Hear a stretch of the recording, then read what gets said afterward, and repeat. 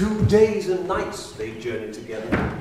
Fair was the forest, fair was the weather, and though they talked little, she grew rather fond, and the huntsman felt something, let's call it a bond, between them, though they spoke not about it. By the time that they parted, neither could doubt it.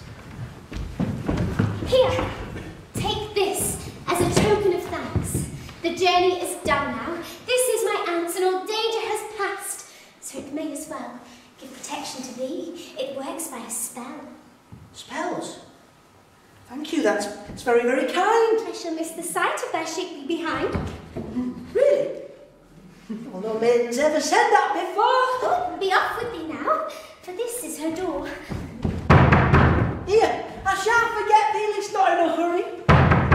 She's the kind of girl I think I could marry. Fare thee well. oh, and Elspeth, you gave me a shock. Welcome, my child. There was no need to knock.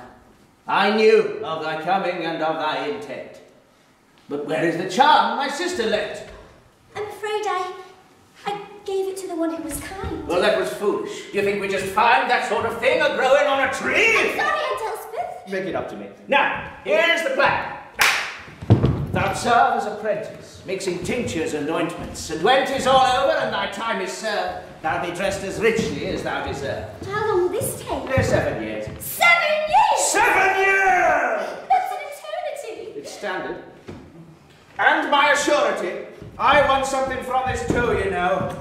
Once more, thou must take a solemn vow, pledging thyself to me and no other. Forget about seeing thy father or mother, let alone a suitor. Get that out of thy head. Whoever he was, if he comes near here, is dead.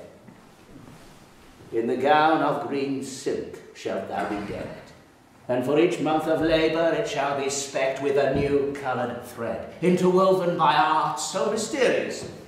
Well, we'll leave out that part. Each coloured thread is the sign of a new skill, a new herb, a new cure for them as are in. Like a badge of my trade. Oh, you could say that, yes.